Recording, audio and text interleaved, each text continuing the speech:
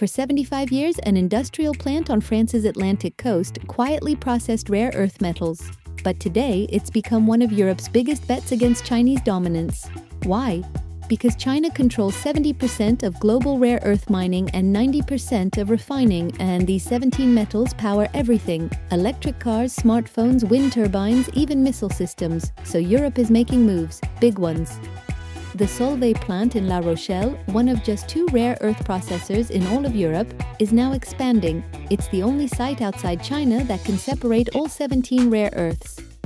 Think of it like splitting fruit juice back into pure apple, orange, and pineapple.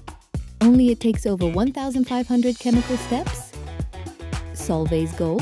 By 2030, they want to supply 30% of Europe's rare earth needs, just by recycling motors and electronics already here. But here's the twist Europe has no operational rare earth mines, the nearest ones still a decade away. So for now, they're importing from Brazil, Australia, and Canada, and they're racing to catch up because while China's miles ahead, it came at a cost environmental damage, radioactive waste, and decades of state support. To compete responsibly, Europe must spend more. Cleaner processing means higher prices. And companies need guarantees. Will governments commit? Will customers pay more for locally sourced metals?